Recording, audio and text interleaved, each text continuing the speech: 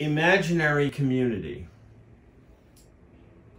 Imaginary community is really a synonym in the book for the false we, with the term false we being used more frequently to describe the political form of the imaginary community, and imaginary community being used more frequently to describe the ontological displacement of our collective being from the here-ness of true mutual recognition to a collective image out there that we each imagine we are in and are one of.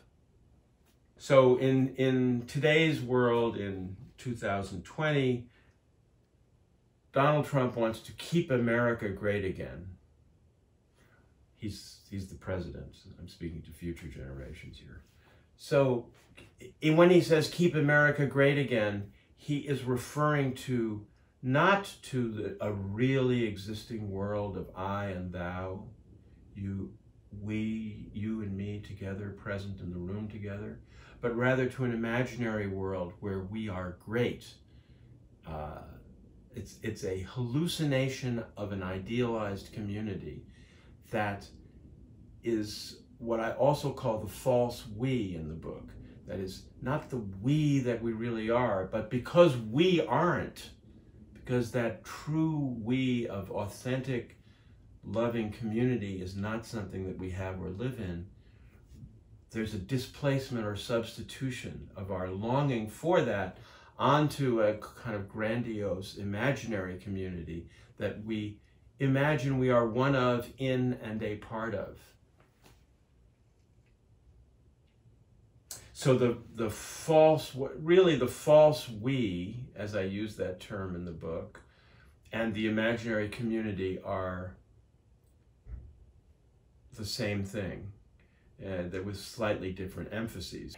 If we don't feel in true community, but are actually withdrawn into ourselves, engaged in the performative world of fulfilling all our roles, that we imagine to be who we really are, because that's how we are conditioned, but actually we are withdrawn into ourselves. We are vulnerable to seeking substitute communities where we can, in the imaginary, feel connected to each other.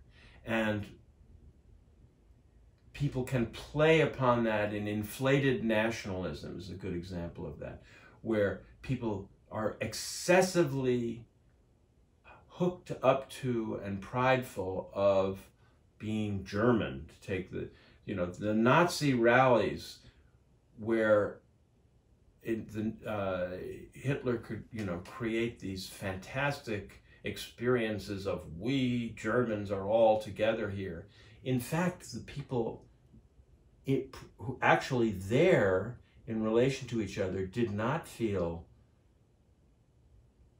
that they were connected in a sense that I, in a loving sense of I and thou, but rather they were all part of the same imaginary we that was, in their case, repairing, they thought, an underlying feeling of historical humiliation that their people had suffered. So by making the swastikas larger and larger, the idea there is to create a more and more perfect imaginary community that we are all a part of, that actually understood collectively was in the service of the denial of a deeper longing, a denial of the vulnerability associated with the longing to be loved, cared about by other human beings, really embraced by other human beings. The entire gradient that that the German people were living in at that historical moment was, on the one hand, the vulnerability to being collectively humiliated as a people, an imaginary, and on the other, inflating that to a very, very fantastical size where we are all great. Our swastikas are bigger and bigger until we're the master race ruling the world all an imaginary community substituting for an underlying absence of true community. True community doesn't need or want or have anything to do with these, these forms of racism, of, hyper idealized fantasies. Uh, all of that is a substitute for something empty or absent at the center of being. Okay.